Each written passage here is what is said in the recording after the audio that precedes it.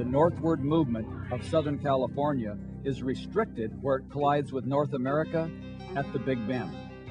This collision causes the region to split into parallel blocks separated by parallel faults.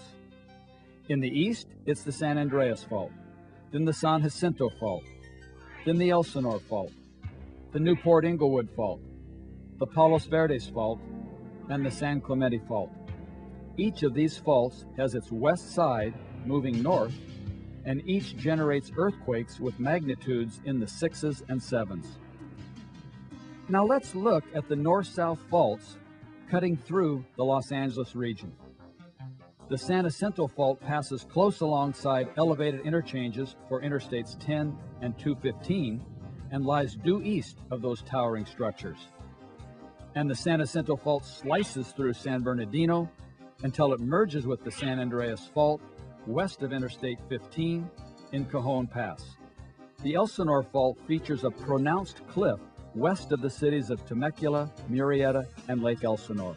At any time, this fault could generate a magnitude 7 earthquake. Note also that Lake Elsinore is shaped like a rectangle.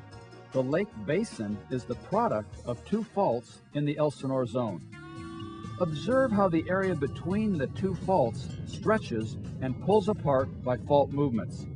The land drops into a natural basin and fills with water to become Lake Elsinore.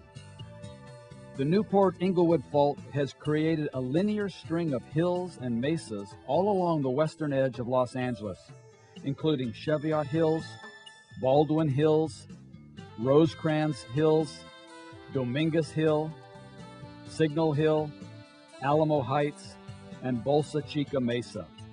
All of these features were formed by active faulting. Think of each hill as a miniature example of the forces that created the mountains at the Big Bend of the San Andreas Fault. Look at how the area between the faults is pushed together by the fault movements. Compression at a fault bend squeezes the land upward, forming features like Signal Hill. Fault movement here in the 1933 Long Beach earthquake killed more than 100 people.